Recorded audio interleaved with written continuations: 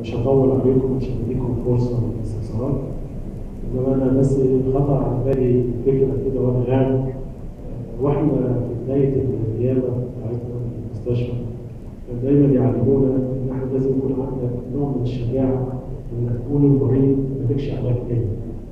وطبعا إحنا كنا بنجد صراع نفسي كبير جدا إنك أنت تيجي تقول العيان مالكش علاج خاصة في الصعيد عندنا أنت كده يعني بتشوف يعني مظهرها على وش العيان وعلى أهله. لغايه ما يقول لك انت لو قلت له كده ممكن يموت هو واحد. طبعا هي قاتله. مع الوقت طبعا الحمد لله والأبحاث والدنيا اتغيرت.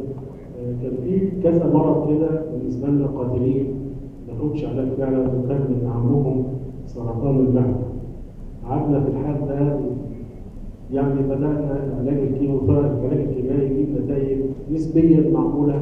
بس هو العيان يتعالج ثلاث أربع أشهر يحصل له مشاكل يبدأ يا إما يموت من العلاج يا إما يموت من المرض لغاية لما ظهر العقار الجديد للأمانة هو كان أقول طفرة لا هو حسن النتائج فعلا.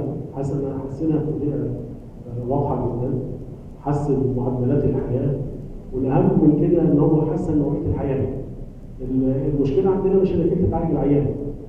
هم دايما يقولوا خلي العيان دايما احرص العيان ما يموتش من العلاج إنه ممكن يموت من المرض ده حاجة طبيعية ما يموتش من العلاج هو فعلا من أهم الحاجات اللي عملها إن هو حسن نوعية الحياة أنت بدل ما بتعالج مريض نايم في البيت على السرير بيبقى أقصى امل يقول لك طب العيان يقوم يتحرك. على الأقل مثلا يقوم يدخل الحمام يقوم ياكل.